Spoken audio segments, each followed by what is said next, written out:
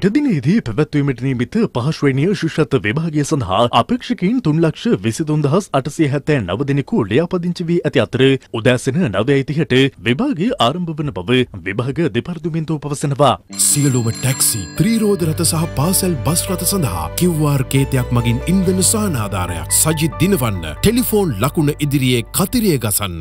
බැටරියට මුදල් නාස්තියෙන් සදාටම නිදහස් ලෙන්කා ERC80 මෙබර ශිෂත්ව විභාගය සඳහා සිංහල මාධ්‍ය අපේක්ෂකෙන් දෙලක්ෂ හතලි සතරදහස් අනු දෙදෙනෙකු ලියපදිංචි වී ඇති අතර දෙමළ මාධ්‍යයෙන් ශිෂත්ව විභාගයට මුහුණ දෙන අපේක්ෂකින් සංඛ්‍යාව හැත්තෑ නවදහස් සත්සය අසූ හතක්. මෙල්තර විභාග කාලසීමාව තුළ යම් ආපදාතත්වයක් ඇති හොත් බාධාවකින් තොරව සිසුන් විභාග මධ්‍යස්ථාන වෙත යොමු කිරීම සඳහා විශේෂ වැඩපිළිවෙලක් සකස් කර ඇති බව ආපදා කළමනාකරන මධ්‍යස්ථානය පවසනවා. ආපදා කළමනාකරන මධ්‍යස්ථානය පැවසුවේ යම් ආපදාවක් හේතුවෙන් සිසුවෙකුට විභාග මධ්‍යස්ථානයට යාමට නොහැකි තත්ත්වයක් උද්ගත වූ හොත් එකයි එකයි හත හදිසි දුරකථන අංකයට දැනුම් දෙන ලෙසයි. අපි ඉල්ලා සිටිනවා මේ මැතිවරණ ප්‍රචාරක කටයුතු වල යෙදෙන අයගෙන් කිසිම ආකාරයකට මේ ශිෂ්‍යත්ව විභාගයේ පැවැත්වෙන පාසලක් ආසන්නයේ නැත්නම් ඒ යවට එම ඉදිරිපස තියෙන මාර්ගවල ඒ විභාගයට බාධා වන ආකාරයට කටයුතු කරන්නට එපා කියලා අපි පොලිස් ස්ථානවලට උපදෙස් දීලා තිබුණා. ශබ්ද විකාශන යන්ත්‍ර සඳහා බලපත්‍ර දෙන්නට එපා කියලා ඒ කාල සීමාවට අදාළව. ඒ වගේම